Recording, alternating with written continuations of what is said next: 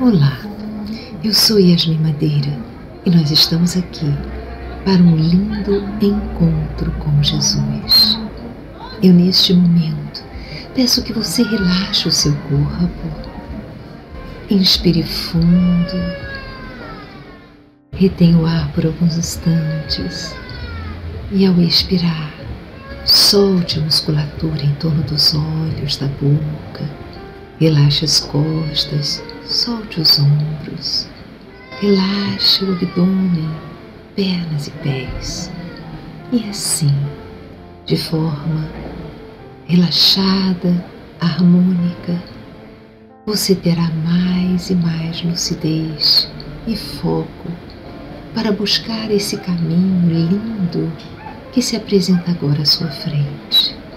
É um caminho totalmente iluminado por um sol que não queima sua pele, um sol que não maltrata seus olhos, mas que faz você sentir-se em total acolhimento, segurança e paz.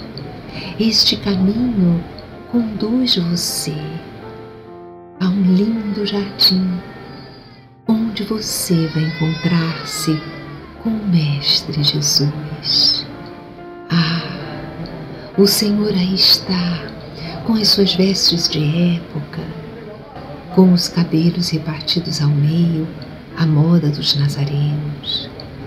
Ele estende seus braços para você. Vá, ele acolhe você. E neste amplexo de luz, ele traz renovações energéticas para o seu corpo físico e perispiritual. Ele está neutralizando energias doentias e renovando a sua alma, trazendo confiança, certeza de que todos os seus desafios serão vencidos porque Ele está ao seu lado. Nesse momento, nós pedimos pelos seus amores. Pense neles, as energias que brotam do Cristo se unem às suas e raios belíssimos de todas as cores brotam do seu peito na direção dos seus amores. Eles recebem, acolhem essa energia renovadora de suas almas. Mas nós não podemos apenas orar por nós e pelos que estão mais próximos mas igualmente vamos envolver toda a família humana, mesmo aqueles que não conhecemos. Nós desejamos a todos os irmãos que realizam o seu processo ascensional ligados à Terra, sejam neste momento abençoados, protegidos, iluminados, envolvidos pelo poder do Cristo, pela força da sua proteção rogamos especialmente pelos que estão partindo para a pátria espiritual. Pedimos especialmente pelos que não têm o pão para colocar à mesa, os que estão desempregados.